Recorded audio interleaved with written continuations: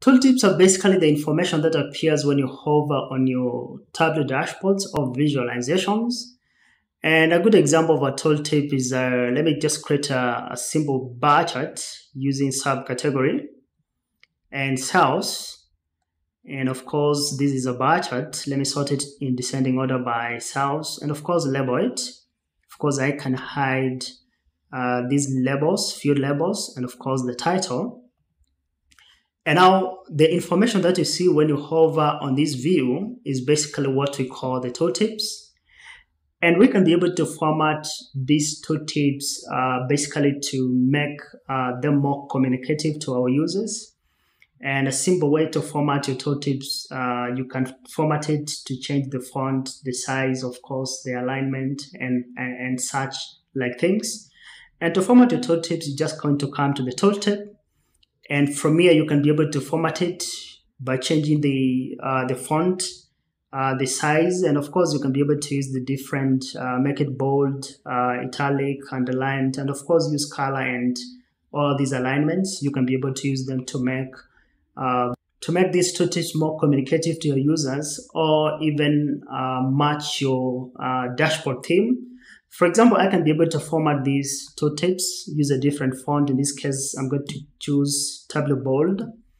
I can increase the size of the uh, the dimension, probably pick something like 12, make it a little bit bigger and a different color, maybe this one. And of course, the amount of cells a bigger size and of course a different color. That's one way. And as you can see when you hover, uh, those particular formatting options we've done are now available uh, on the tooltips. So I would say those are the basics that you can do to format your tooltips. Uh, the other way, you can also make these tooltips more communicative to your users. Rather than just showing the subcategory and the sales numbers, you can customize these tooltips to make them more communicative to your users. For example, I can show, or rather, I can tell the user the rank of that particular subcategory and the amount in a more communicative way. For example, let me create a new calculated field and I'm just going to call it index. And the details of this calculation will simply be index, which is a table calculation. And I'm going to drag this new calculation to here and change it to discrete. Then I'm going to add it to the view. Let me hide it because I don't want it to be visible. And of course, I can format the view to remove all these uh, lines. Uh, for this case, I won't do that. And now I can format this view by coming to the tooltips. But now instead of just showing the subcategory and the amount of sales, I'm going to say uh, the subcategory the subcategory uh, chairs or tables, etc., etc., uh, was ranked, let's say position, position uh, one, two, three, whichever the position of uh, it is. And in this case, I just want to add uh, the index because index is showing the position of that uh, particular subcategory. So I'm going to pull index, insert index here. So the subcategory forms was ranked position one with, let's say, with um, X amount in cells. Let me uh, format, use a common font, Tableau Book, size 12 and of course I can use a lighter color. And let me make the dimension more dark.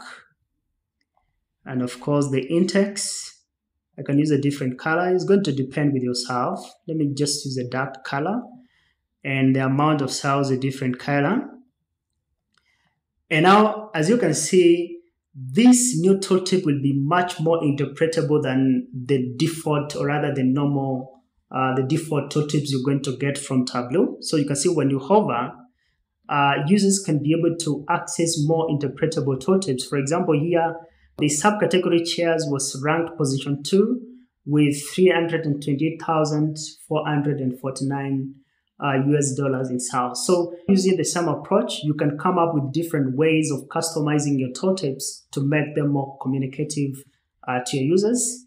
You can also add what we call a viz or a visualization within your tooltip. Basically, what that it means is uh, when you hover on your viz, basically what you're going to see, it's another visualization within the same visualization that you've created. And to do that, first of all, we have to create now the visualization that we want to add in our viz. So for example, let's say on top of the amount that was generated by the different subcategories, let's say we want to show the breakdown of that amount for different uh, years.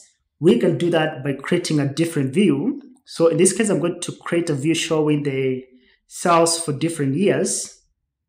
So I'd rank sales, order date to rows and cells to columns.